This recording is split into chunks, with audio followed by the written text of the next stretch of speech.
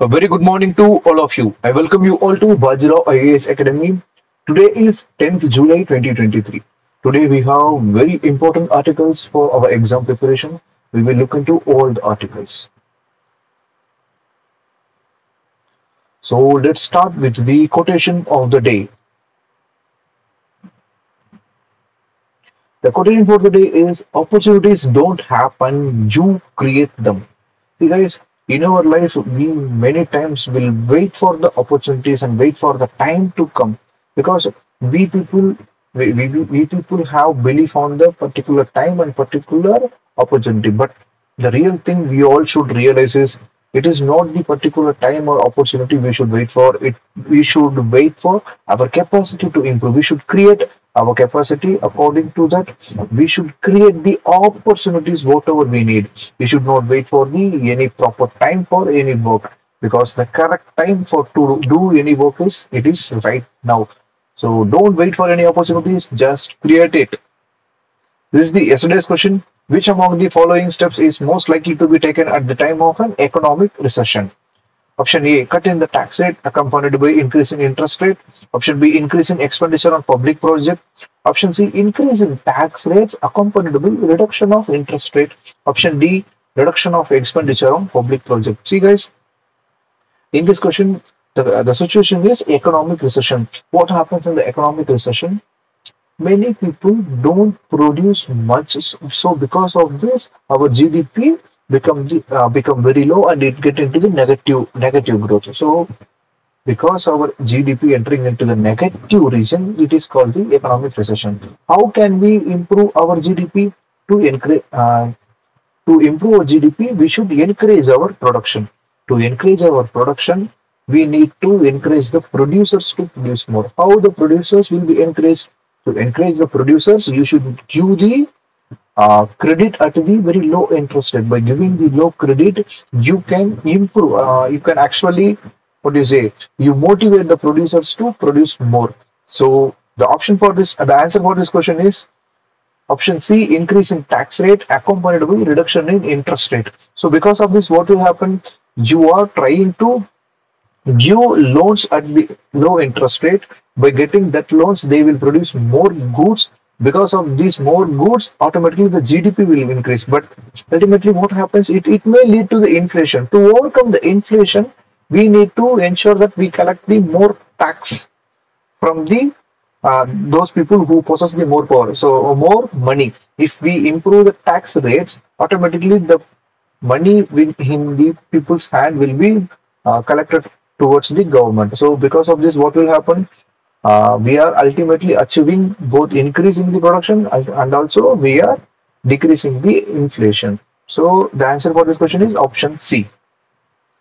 What is today's question? The money multiplier in an economy increases with which one of the following? Option A, increase in the cash reserve ratio in the banks. Option B, increase in statutory liquidity ratio in the banks. Option C, increase in the banking habit of the people. Option D, increase in the population of the country. You people try to give answer in the comment section. I will give you the answer in the tomorrow's discussion.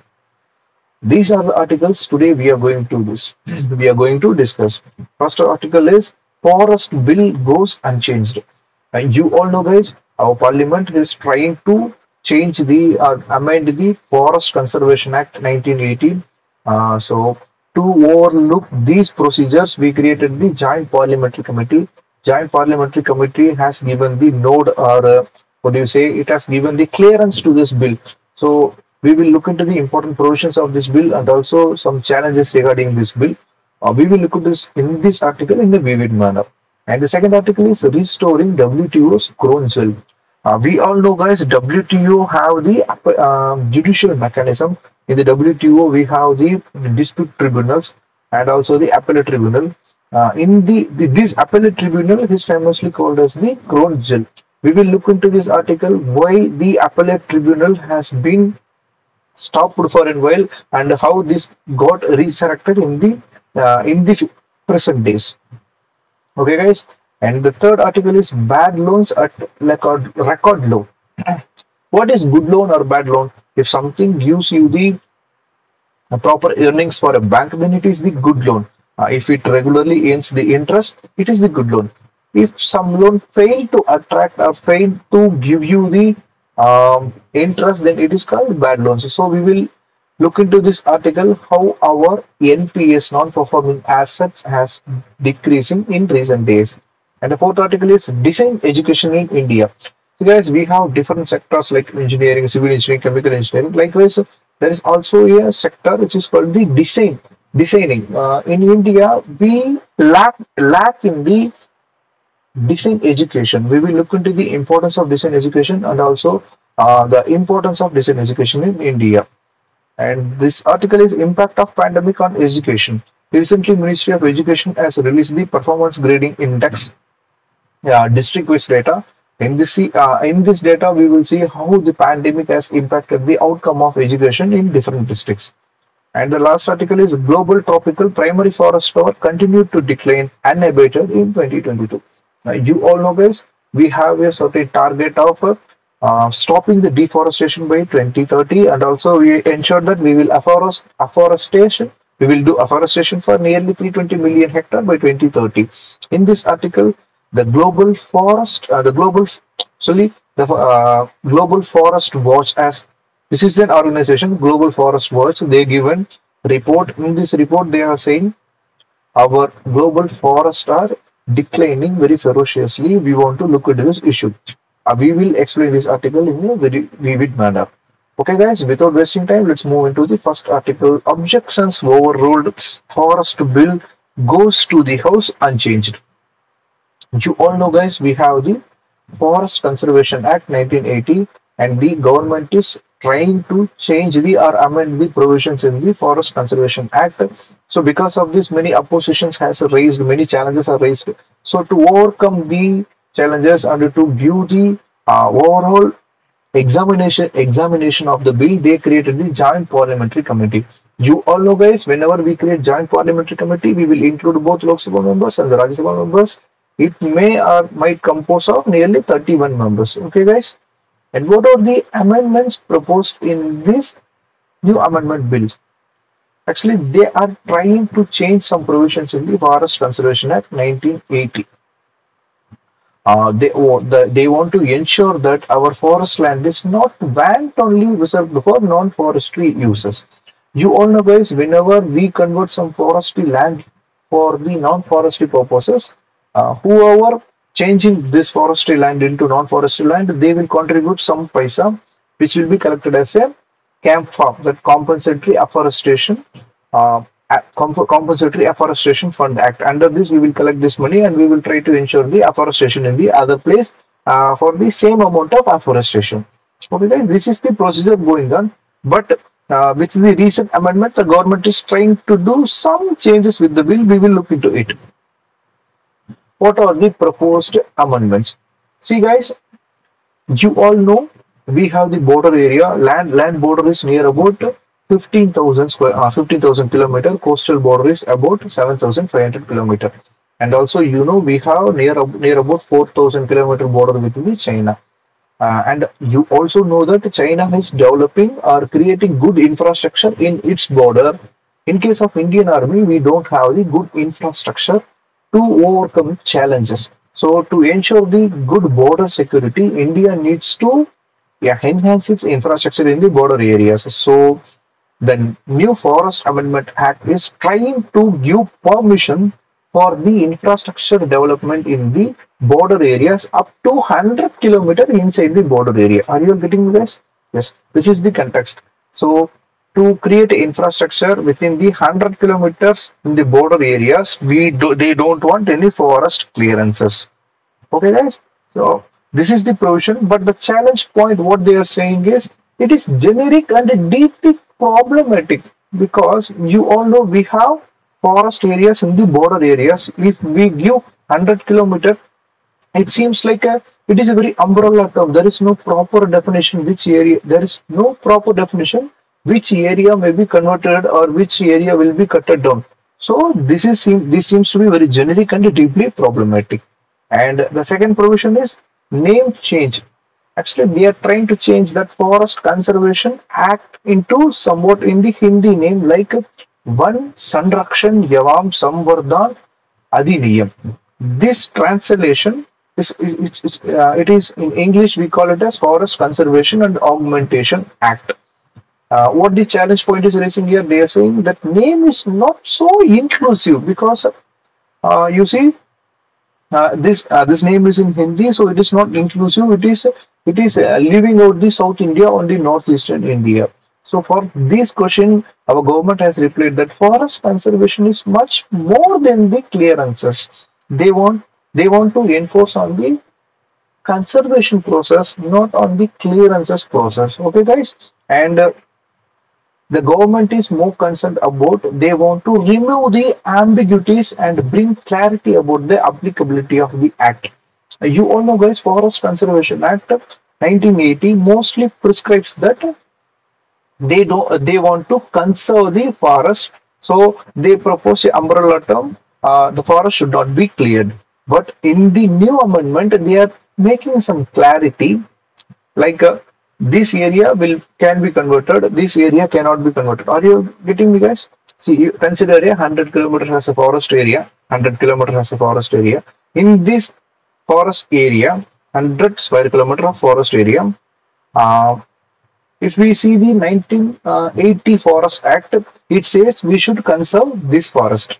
Okay guys? But the amendment is trying to change the provision that in this 100 square kilometer forest area 15 kilometer this 15 kilometer can be converted. This 15 kilometer can be converted for tourism. This 15 kilometer can be converted for other infrastructure purpose so what the change we are seeing here they are creating the clarity over the forest area which can be converted which cannot be converted. So uh, are you all getting me guys? So they are creating the some clarity. They are trying to remove the ambiguities so what will happen? It will ultimately attract the investors. It will also ensure the forest area is conserved. Core area will may not be or will not be disturbed. The other peripheral area which possesses the less tree cover can be converted into the infrastructure areas. Okay guys?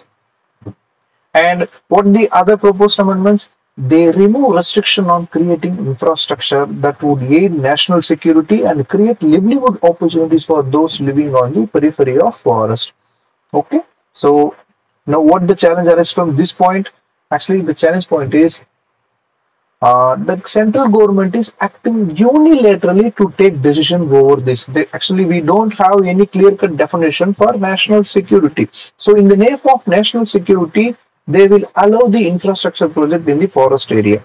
So, uh, actually, this uh, this provision it seems to be we are giving the more unilateral power to the central government. Ultimately, it will affect the forest. So this is the challenge point they arise from the opposition side. The predominant idea of the proposed changes. Why the government is trying to change this? Actually, the proposed idea has some objective behind this. They want to ensure that they want to increase the forest cover and also Along with the increase in forest cover, they want to ensure carbon stock has been increased in the form of forest. Okay guys, because we have committed in the United Nations. So we want to ensure our carbon stock has been increasing. And also they want to attract the infrastructure uh, investors and the developers. To attract the developers, we need some clarity over the trans uh, clarity over land agreements, forest agreements. Then only we can attract the developers. So to make land available to the developers and to make the legal obligation and to meet the legal obligations we need some clear and clarity procedures. So because of this only we are trying to change some provisions. And also what is the other objectives behind this? We want to ensure uh, that applicability of forest conservation act become the clear cut and also we want to free up the land for the unrecorded the forest.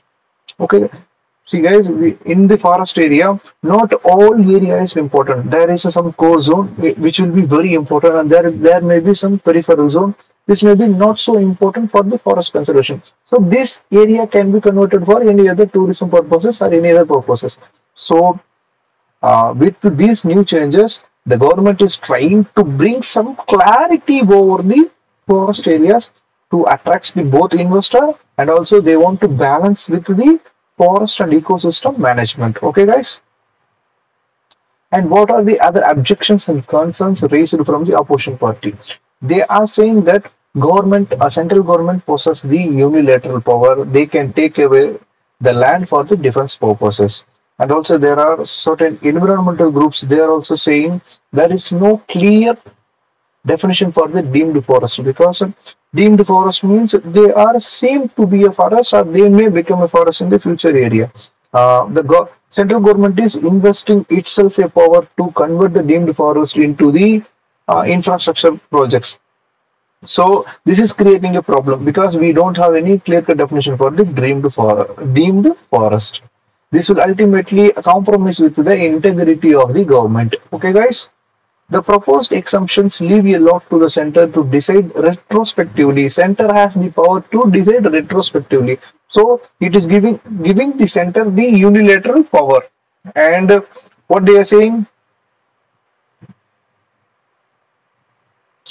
uh, the other argument is this may seem like a double whammy. Uh, it's like a double-edged sword, losing a unrecorded forest areas and also recorded forest area to the project. So it will ultimately affect both the recorded and un unrecorded forest area. So these are the certain challenge or concerns raised by the opposition members.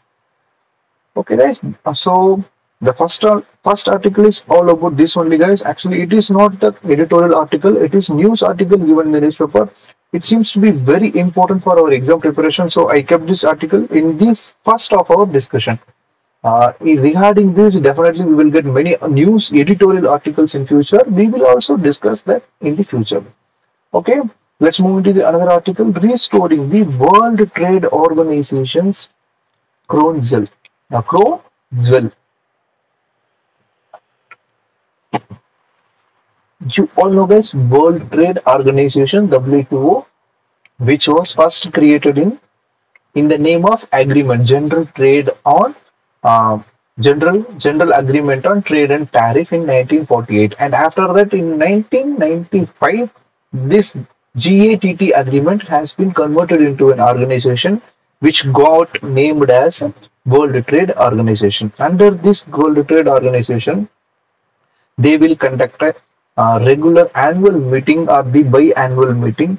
Uh, during this, mostly they conduct biannual meeting. So, uh, based on this biannual meeting, the world leaders will come together and they will agree on the trade related problems. Whenever any country faces any problem, this World Trade Organization have the dispute redressal mechanism. Under this, they have certain dispute redressal tribunal. Whenever uh, there is no amicable solution uh, with the dispute redressal mechanism, we will go for the appeal. So there is an appellate tribunal in the World Trade Organization. So what happened with this appellate tribunal? During 2019, up to nine, uh, 2019, it was working properly. Uh, they tried to solve many problems. Even they tried to give judgment against the US and Europe Union. So basically the World Trade Organization's appellate tribunal was very good successful in its mandate. They tried to enforce the international law over all the countries without any impartiality. Okay without any partiality. Okay guys. So what happened? After 2019 the us was not feeling comfortable with this appellate body. Because us have some problem. It feels like the appellate body of world trade organization is imposing the binding order on the usa so because of that usa is losing something in the world trade. So USA unilaterally tried to stop the appointment of its uh, appellate tribunal members. Are you getting this? So what happened after 2019? From 2019 to 2022, we don't have any appellate tribunal. So it become like a toothless sum. Toothless sum. So because of uh, so after three years, now all countries are trying to cooperate together to create the appellate tribunal. They are trying to resurrect the appellate tribunal in the World Trade Organization. So this is the context of this news, guys. Uh, this appellate tribunal is famously called as the Crown Jewel.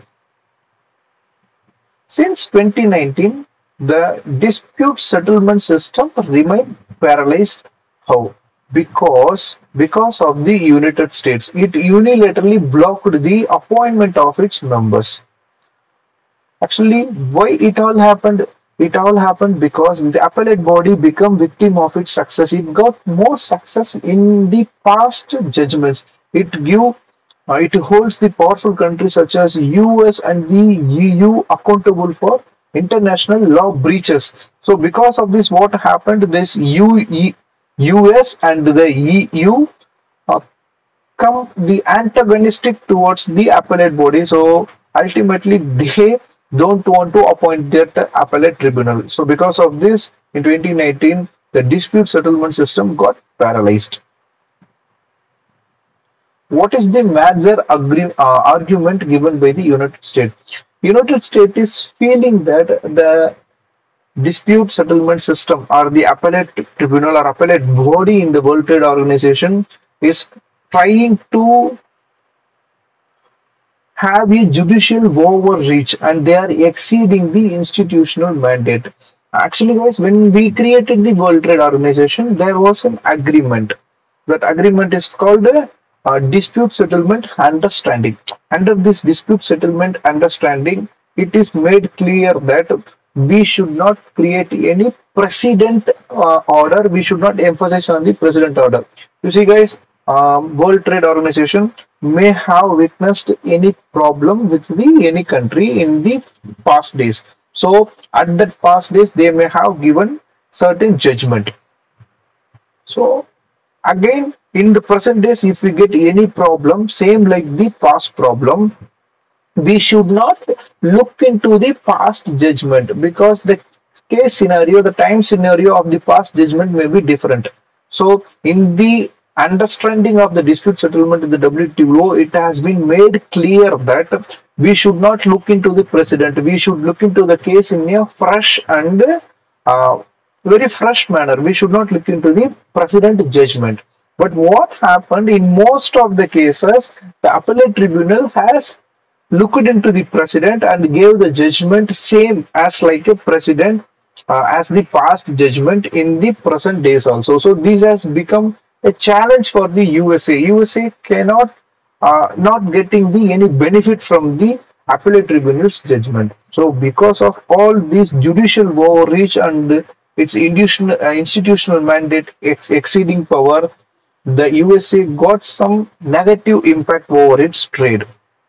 And also the USA is saying the roles are not clearly well defined for the appellate tribunal and the dispute settlement mechanism. So until and unless the roles are clearly defined, USA will not let the anyone to be joined in the appellate tribunal. Are you well getting me guys? Yes.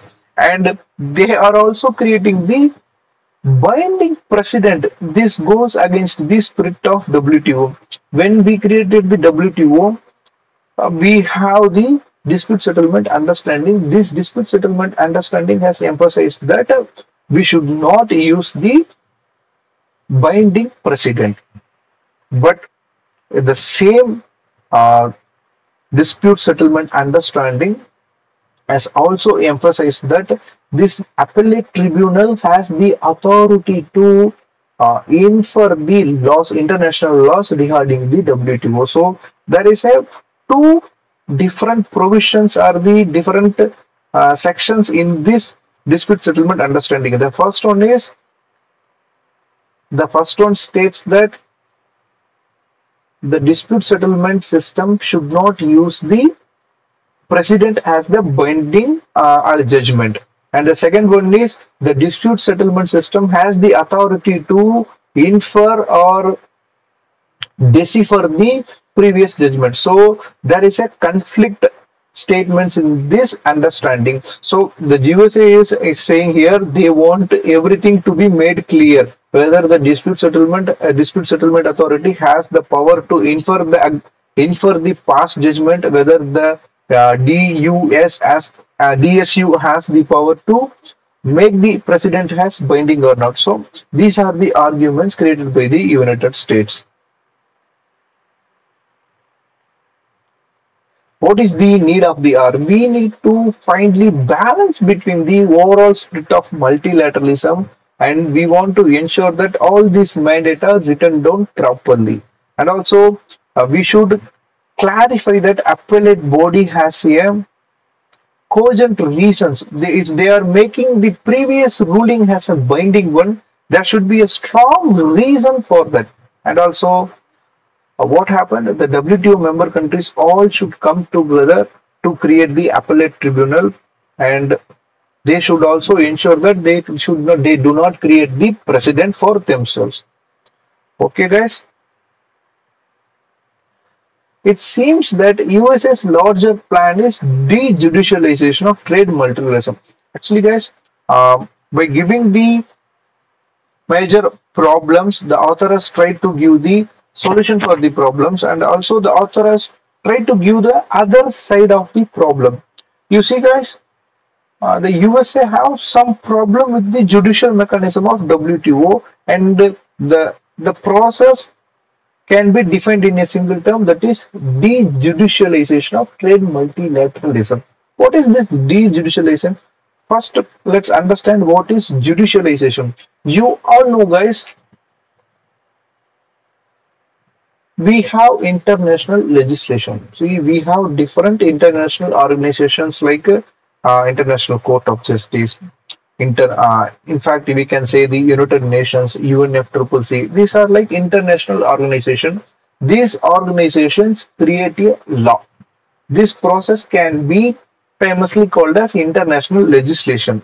Same like that we have international judicialization. What does it mean international judicialization means we have certain judicial international bodies who impose or who try to give law over other countries. We have International Court of Justice, International Criminal Court.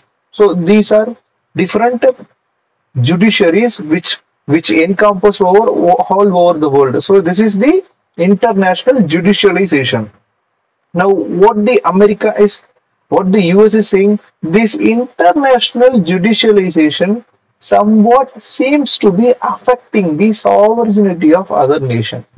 In the name of international interest, they are trying to infringe, infringe upon the autonomy of other independent sovereign nation. So what the USA needed right now, the USA needed, they want to ensure that this judicialization of international relations should be de-judicialized. See, this word is very important dejudicialization of trade multilateralism.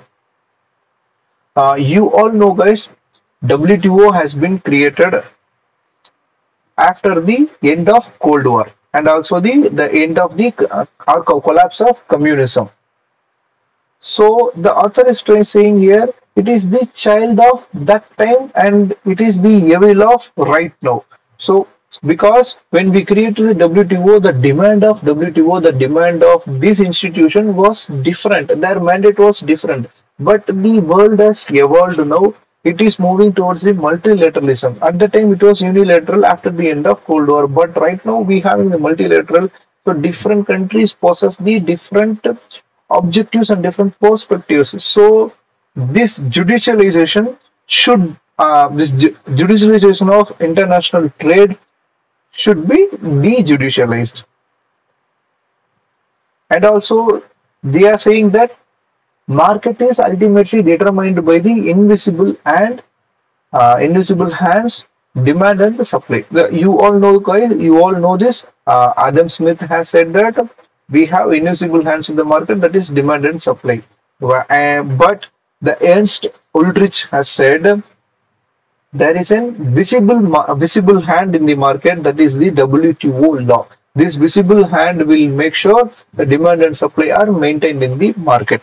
But what this WTO, the visible hand, is doing here, uh, the author is saying this visible hand of WTO is ultimately affecting the sovereignty of the nation because they are taking the control over the critical decisions of the other countries.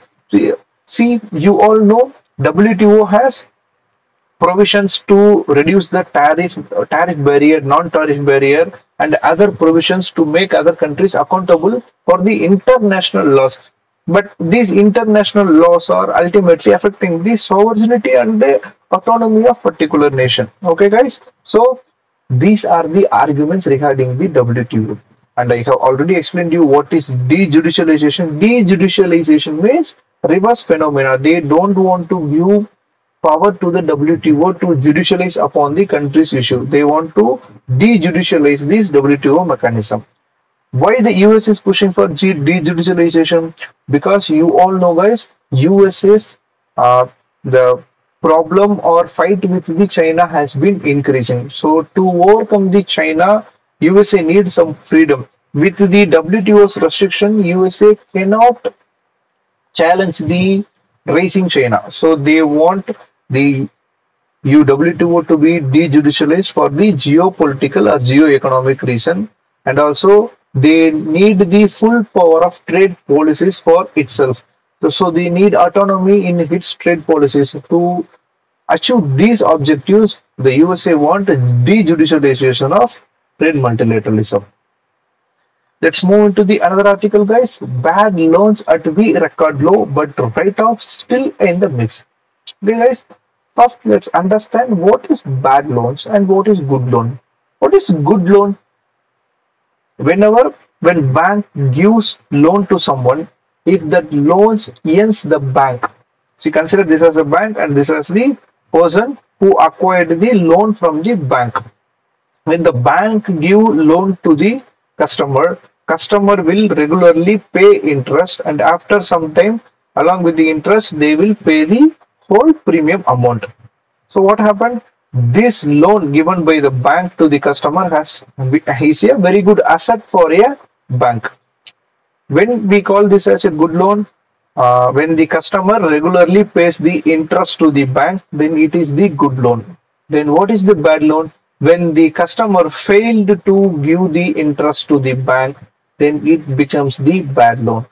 In the technical aspect, we call it as non-performing asset when the customer failed to pay interest for minimum three months for the last three months if the customer failed to pay the interest then we call this loan as a non-performing asset after a non-performing asset if the non-performing asset category is maintained for 12 months if the customer is not paying uh, rent or the interest for the 12 months, then we call this NPA as a substandard asset. If the loan is maintained in the substandard asset category for the 12 other two, um, more 12 months, for, see for the first three months, it will be converted into NPA and after if the uh, in the NPA category, if it is continued for the 12 months, we call it as a substandard category. And for the next 12 months, this will be considered as a doubtful asset. Okay, guys. After getting into the doubtful asset, if the bank recognize this, this may not become a this may not become a, recover, recoverable loan, then they will call it as a loss asset after calling it as loss asset when they try to do audit and they find it is impossible to recover that loan they will write off that loan. What is this write off? They will take off this loan account from the balance sheet itself. Okay are you all getting me guys? So ab kya hoga the loan which was given to the consumer will not be added it to the account books. It will seem like the account book has become so clear. It is the write-off. Okay guys, let's move into the article what they are saying. See guys, for the past four years, we have been having the very high percentage of bad loans. If we have given the 100 rupees as loan, in this near about 10 rupees 10 rupees loan was was acting as a bad loans for the past 10 years but this bad loan has been decreasing in the last last one year. Okay guys? See this uh, chart clearly guys? This is the gross non-performing asset and it is the net non-performing asset. The gross non-performing asset has reduced to the level of 3.9 percentage and the not net non-performing asset has reduced to the level of 1 percentage just 1 percentage so this is the very good achievement in our economy guys The second quarter of 2019, the NPA ratio of Indian banks was 9.2 percentage. That means if we give 10 loans, in these 10 loans, one loan was non-performing asset. So in the in the 10 loans, one loan become the barrier for the banks. Between the 2016 and 2019, the NPA ratio remained high. It began to decline later and continued to do so even during the pandemic. Are you all getting me, guys? During the pandemic, we have given some moratorium period for all the loan holders. Because of this moratorium period, also we get we got some impact in the non-performing asset. But what the author is saying, between 2016 and 2019, we had a high NPAs, but with the recent trend, the NPAs has been decreasing significantly. What helped the banks to overcome the NPA problem? The first one is the insolvency bankruptcy code. So because of this insolvency and bankruptcy code, the recovery of bad loans, the recovery of non-performing assets has been streamlined or strengthened and fastened. So because of this bad loan recovery has been has been becoming very good for the banks. And also the banks stopped lending to give big money to industries. If they give huge or lump sum amount to some industries, it, it is very difficult to recover that money. So the bank has changed the strategy. They don't give very big amount. They give only small amounts to the industries. And also the banks also try to increase their share of personal loans. They don't want to give industrial loans and agricultural loan and they don't want to like they don't want to give for the any industrious purposes. They are trying to give loans as a personal loans. Why? Because personal loans recovery power for the bank is very high. There is very less chance to get failure in the personal loan recovery. So mostly banks prefer to give personal loans in the past few days. So because of all these reasons, NPAs got reduced. But there is also concerns with the decrease in the NPA. What is the concern? They are saying that we have given the moratorium period during the COVID-19.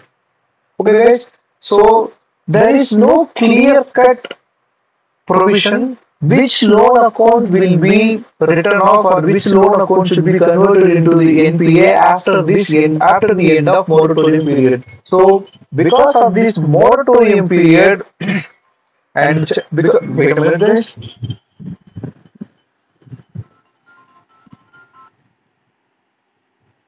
Because of this moratorium period, because of this moratorium period and the, and the lack of clear cut provision, we are not clear which loan has been converted into NPA, which loan has been written off. Okay, guys, and also there is a concern. There is a sudden shift in the portfolio from industries to the personal loan. So it is not clear. It is not looking clear why the bank has shifted to the personal loan. And also there is a fall in NPAs, especially in the financial year 2020 can be largely attributed to the loan write-offs.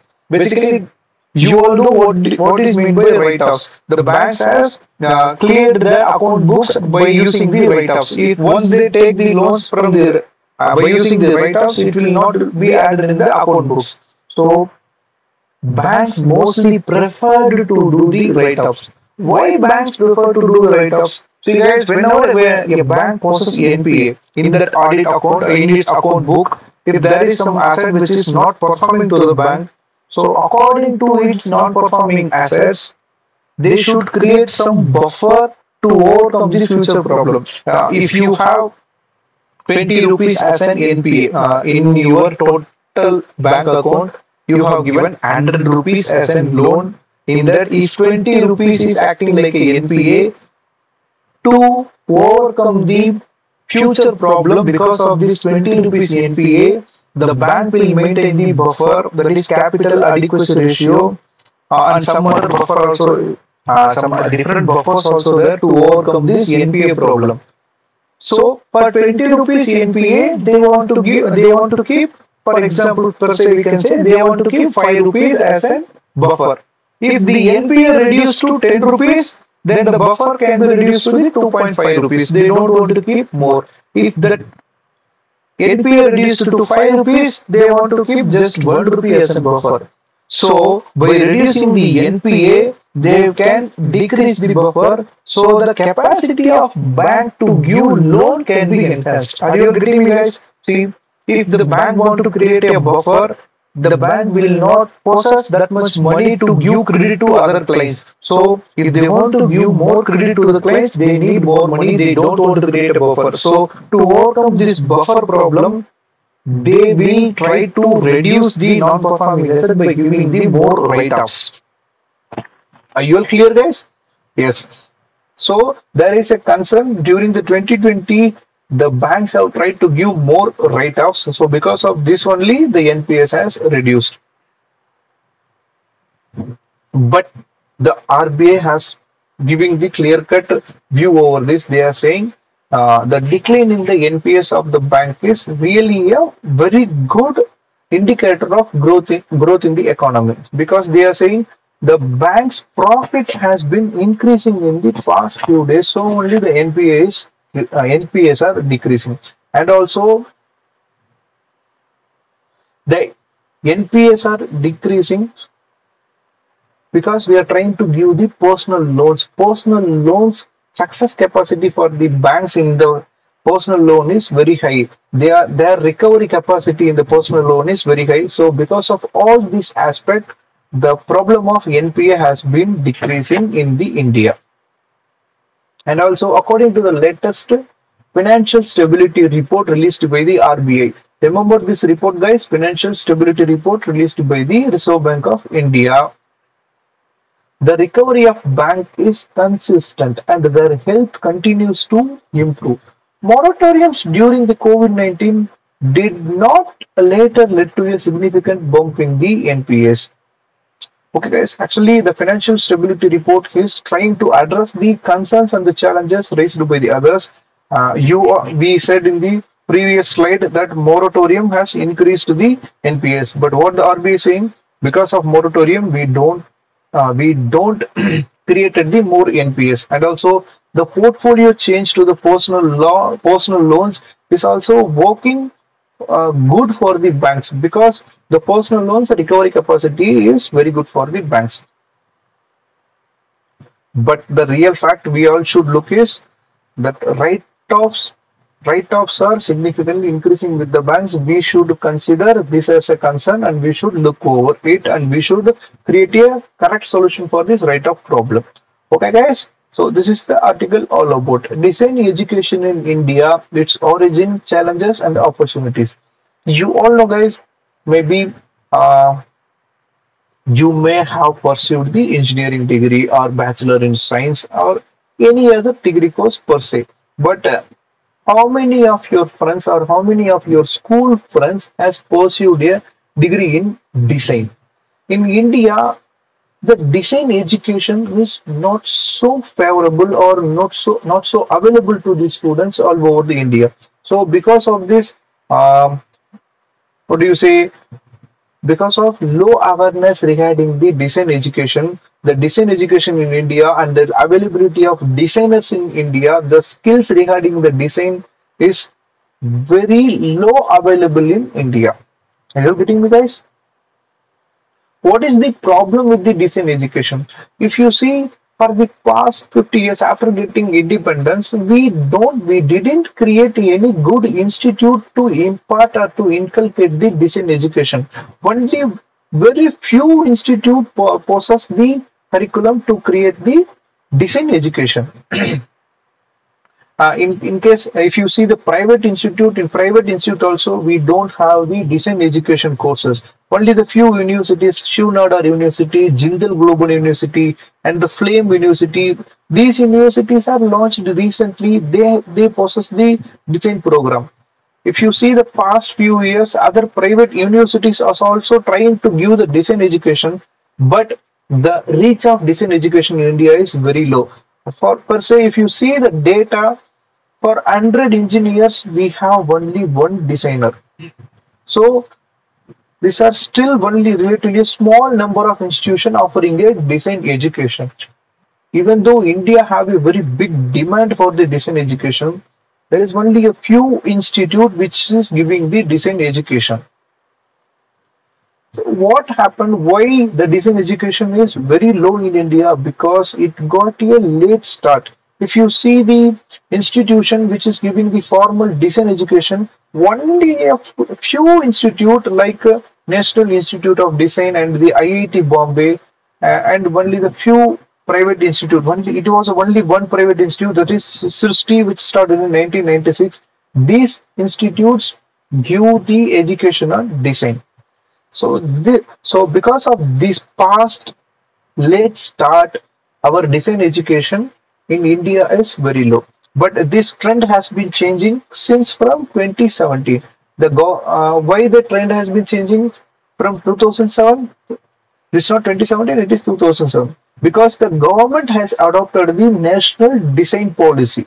Because of this national design policies, uh, they established the India Design Council in 2009. So because of all this improvement, the trend has been changing. There has been a more awareness among students to take up the design. Big demand for the design. If you if you see the Indian firms, Indian firms need the more designers. They want to create the passionate designers because in India we lack in the skillful designers even though we have very good demand, but the demand is not fulfilled in India. And full or no firms with the design as a cost core strategy.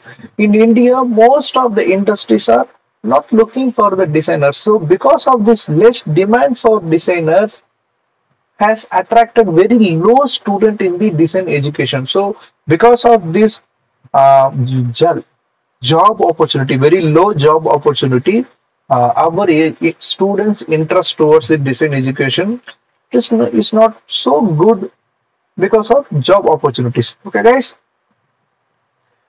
If you see the recent trend, India's design sector is growing at the rate of 23 to 25 percentage annually and it is creating the accelerated demand for the designers and also it is expected to create a huge demand from the market for a professional designers.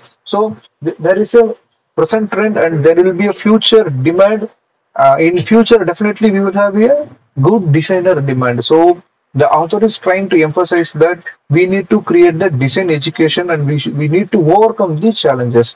And there is also a supply side shortages shortages guys. We are not giving the um, what do you say very good practical and formal skill training for the designers. In India, we don't possess a very good designers. So because of the supply side shortages also, uh, the design education in India is, has been affected.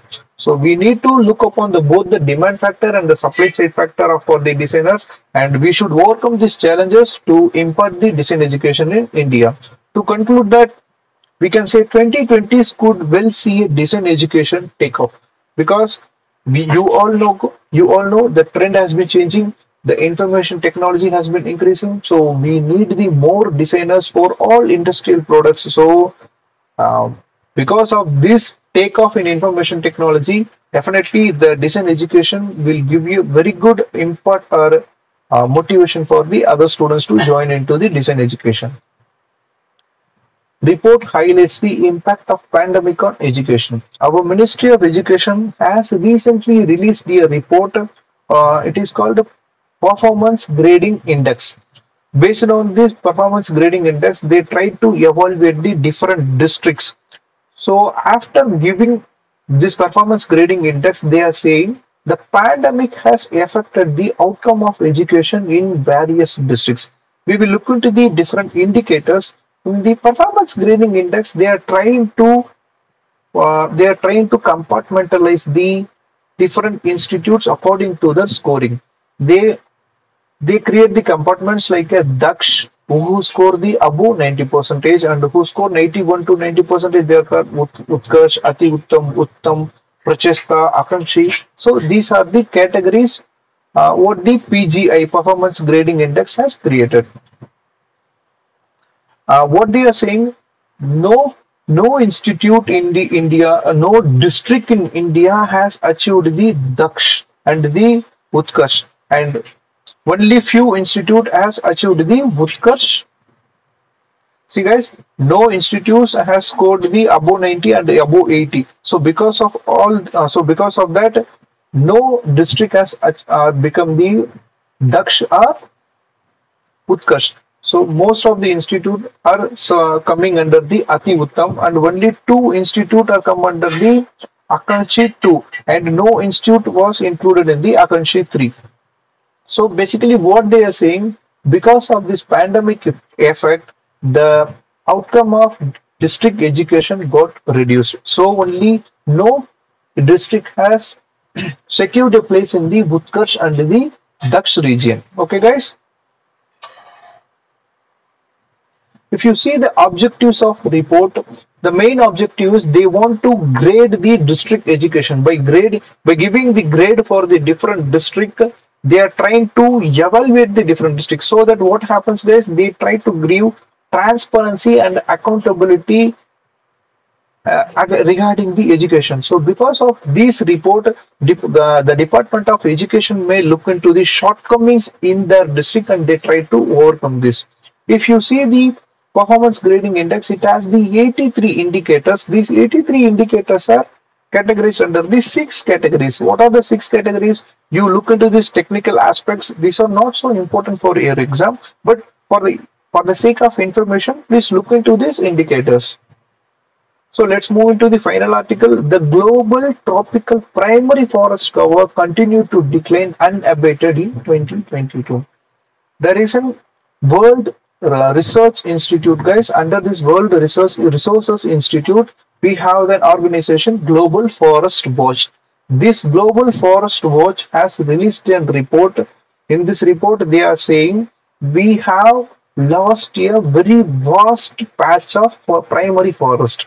What is the primary forest? Primary forest is those forest land which has been undisturbed for the past many years. So it is a fresh land. This is a primary forest. Once we cut the primary forest the other forest develop this this developed forest is called secondary forest. So primary forest once we cut it we create a new forest. It is the secondary forest. Now the report is all about the primary forest. Uh, it is saying that in the world the primary forest has been declining significantly. It is also giving the certain region like indonesia malaysia uh, uh, Brazil, Democratic Republic of Congo. So they, they are create. They, it has tried to give the different picture for different countries. Actually, the Brazil and the Democratic Republic of Congo possess the huge and vast land under the primary forest. But what happened with the Brazil? Because of its president Jair Bolsonaro and their political aspirations, they tried to convert the Amazon basin for the economic purposes. So because of this, primary forest cover has been reduced. And what happened with the um, Democratic of Republic of Congo? In Democratic of Republic, Democratic Republic of Congo, because of increase in population, the forest cover has been decreased significantly. So because of population increase and other reasons, the DRC lost its primary forest. On the other hand, if you see the Indonesia and Malaysia, they have managed to conserve their forest in a very good manner. Okay, guys? And in case of India, we have lost the 43.9 thousand. So it's near about 44,000 hectares of primary forest between the 2021 to 2022. It is like near about 17 percentage of our total country's tree cover lost in this period. Actually, what the author is trying to say here is we want to improve our global tree cover. The tree cover loss should be decreased by 10% each and every year so that by 2030 we have committed for the uh, international agreement right for 2030 we want to ensure that deforestation has been stopped and we ensure that we will create afforestation of 320 million hectares to achieve this target our deforestation and the decline in the forest cover should be stopped. Okay, guys? And what is this final article? LVM-3 launch vehicle marker. You all know guys, we are going to launch the Chandrayaan 3 mission on July 14th. by using the LVM3. What is this LVM3? LVM3 is a launch vehicle Mark 3. It is a type of GSLV. Um, in, in India, we have the three types of launch vehicle. One is PSLV, GSLV, and the small satellite launch vehicle. PSLV is uh, Polar Satellite Launch Vehicle, GSLV is Geosynchronized Launch Vehicle, and SSLV is Small Satellite Launch Vehicle. Our our ISRO has mostly used the PSLV, so only we consider this uh, PSLV as a workhorse or powerhouse for the ISRO. The GSLV has different varieties. The most famous one is large Vehicle Mark III. It has the capacity to launch the 10 tons to the low Earth orbit.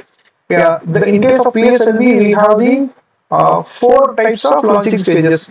In the GSLV, we have three launching stages. The first launching stage is uh, propelled with the solid what do you say solid propulsion system and in the in the second stage we use the liquid fuel and the third stage we use the cryogenic fuel for the first for the first propulsion we use the hydroxyl terminated polybutadiene and for the liquid fuel we use the unsymmetrical dimethyl hydrazine and in the case of cryogenic we use the liquefied hydrogen and liquefied oxygen. So this is the uh, news about the launch vehicle Mark After the July 14th, we will get the news regarding the Chandrayaan 3 mission. We will look into this article in a very elaborate manner. So that's it, guys. Thank you so much for listening the whole article. If you like the video, please press the like button. If you want to give me any suggestion, give me in the comment section. We will try to cover your comments. And also, don't forget to touch the subscribe button along with the touch the bell icon button so that you get all notification regarding the videos posted by our Bajirao IAS Academy. Okay guys, thank you so much. Have a nice day.